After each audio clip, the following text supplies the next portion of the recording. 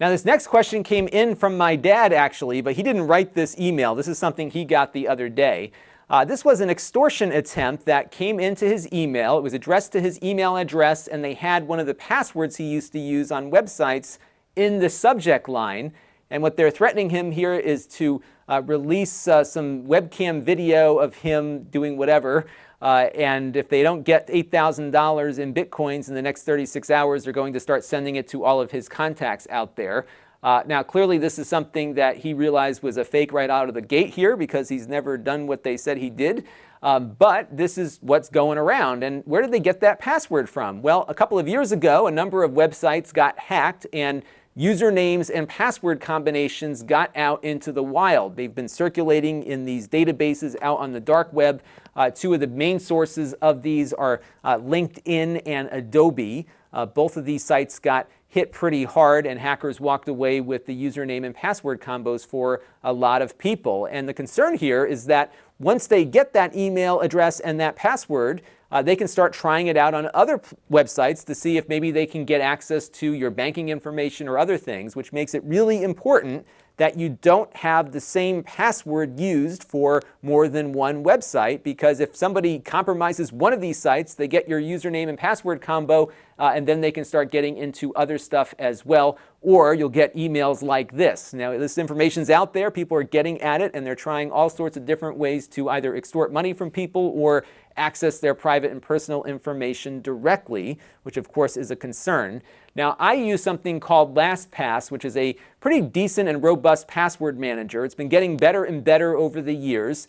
Uh, what I use it for is to generate a secure password uh, individually for every website that I visit. In fact, I don't know what any of my passwords are at all. LastPass knows what they are, and LastPass is secured by a master password, which is probably a point of weakness, but there's a master password that uh, LastPass uses to unlock everything and then begins unlocking other websites. And they now have an app uh, for the iOS platform that's been out for a while, but now it connects up with iOS 12. So if I'm in an app, I can access the passwords through uh, LastPass directly, which has been a big help. Apple also has a built-in password manager now too that works on the Mac via Safari or on your iOS device. There's other ones out there too, but LastPass is the one that I settled on. I think it's like $2 a month if you pay for an annual subscription, and I think that's probably a good price to pay for some peace of mind. Uh, the way LastPass works is that it does sync up your passwords in the cloud so that all your devices can get at it but it's a pre-internet encryption for that password blob. So if somebody were to hack the uh, LastPass servers, unless they know your password, they're not going to be able to get at uh, the information inside of your password file, which really makes having a secure password really important. I also backed mine up with two-factor authentication. So if somebody did get the password, uh, they still need to have my Authenticator app to get at it. So there are some safeguards I've put into place, but nonetheless, you still have to keep that master password secure. And that leads me to this question as to whether or not uh, passwords are even viable anymore as a security mechanism because they are as old as computers themselves are. And I thought it was pretty cool back in the 80s when I was logging into BBSs with a username and password just like the War Games movie. But of course, times change. And there's some new uh, ideas kind of circulating out there to uh, go beyond passwords and make it easier for people to log in, but also make it more secure. Uh, one of those is something that Steve Gibson from the Security Now podcast has been working on called Secure, Quick, Reliable Login or SQRL. And it involves using a uh, little QR code on a website with an app that you uh, scan it with, and you're able to log into a website without them ever getting any of your authentication information. So when you think about this recent Facebook thing where somebody could get your login credential and then log into any other website that you had initially registered through Facebook, uh, that attack would not work here because you are authenticating locally. And the system takes some explanation to understand exactly how it works, but there's a good website that I've got linked up on screen right now that I think provides the best explanation for it. Uh, so basically, it creates a single master key that's the basis for all of these SQRL-enabled websites that you're logging into. Uh, that key is never shared. It's a private key that you keep on your computer, but it utilizes unique site-specific digital signatures to prove your identity. So there's a public key that gets created from that master private key. And they also have something called identity lock so that if that uh, master key was ever exposed, you could immediately de authenticate across all these other websites. The problem, though, at least as I read it, is that you still need to have something that you hang on to locally, whether you print it out or store it on a computer. Because if you lose that initial credential, uh, you're kind of out of luck in proving who you are later. So that's the one issue that I see with this. You have to have something retained uh, in order for this system to work in the case that you have to regenerate your identity. But beyond that, I think it might be a good alternative if they can figure out some way to make it a little bit easier for consumers to recover themselves if they happen to lose the master key file or the authentication method for regenerating that master key. But there are some benefits here in the sense that you don't have a username or password anymore. So if somebody were to break into uh, LinkedIn again, uh, they would just have the credential to get you logged into LinkedIn and nowhere else. And I think it actually might be difficult for them even to log into LinkedIn again. Uh, there's no keyboard interaction, so you do have the ability to uh, avoid getting your keystrokes logged when you are putting in that username and password combination.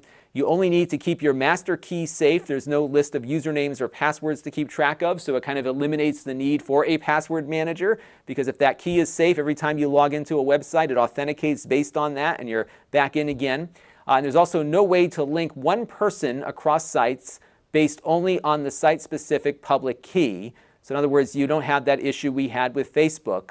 Uh, websites may ask for more information that could be tracked, of course, later, but this doesn't create a cookie issue where if you're logged into Facebook with that authentication token, they can't see what you're doing on some other site that uh, uses that access token in some way. So there's some privacy issues this addresses, but I think it also is a lot simpler from uh, a standpoint of usernames and passwords because to tell my parents, hey, folks, uh, you need to have a separate password and username for everything, uh, they can't deal with it. It's just too much to remember. My mother keeps a pad of everything that she's writing down in, and it's just a mess right now. They forget their passwords all the time. I'm constantly having to help them restore their passwords. It just doesn't work. Uh, something like this, if they can at least make that issue of losing the master key a little bit easier, uh, might be the way to go.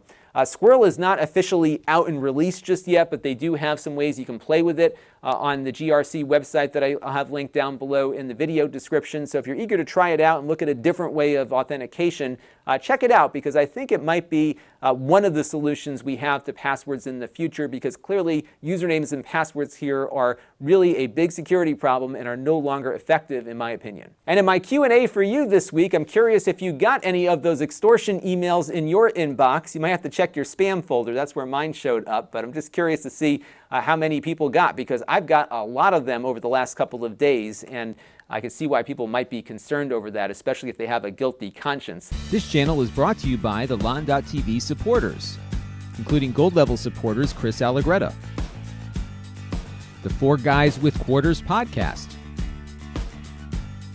Tom Albrecht, Gerard Newberg, and Kalyan Kumar. If you want to help the channel, you can by contributing as little as a dollar a month.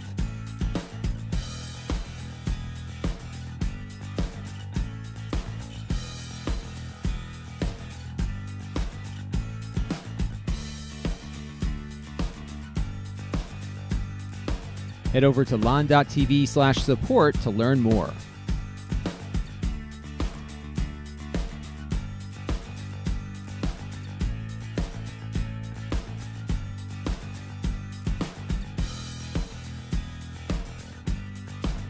And don't forget to subscribe. Visit lon.tv slash s.